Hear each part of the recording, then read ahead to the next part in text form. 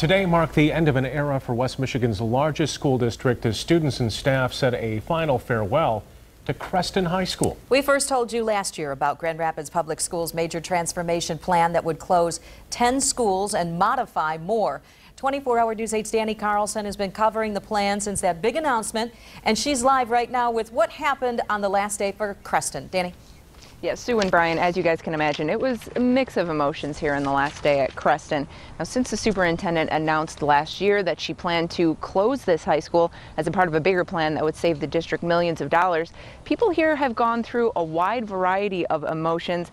And today, people seem sad but resigned as they said goodbye and good luck for good marking that last answer, filling in that last bubble.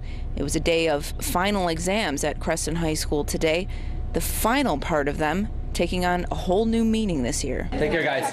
Because today, 89 years, 9 months, and 4 days after it became Creston, Creston is no more. Creston's been here for so long, and I want to be a part of that history, but it's ending short. The more than 600 students, a number that fills less than half the historic building, will all have to make that choice. Go to one of the other two GRPS comprehensive high schools, apply to City High, the test-in school which will occupy Creston next year, or leave GRPS altogether. Normally I would be really happy, but then I think that this is the last year Creston's going to be open and I don't come back next year.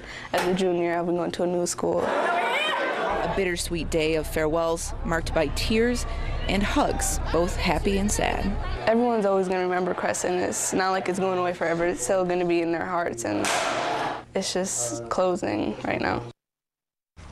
Now, talking to some of the teachers and the staff today, some of them don't yet know where or if they will be in GRPS for the next year. Some are having to apply for new jobs within the district. Coming up, we'll introduce you to one of them who has spent half of her life here at Creston.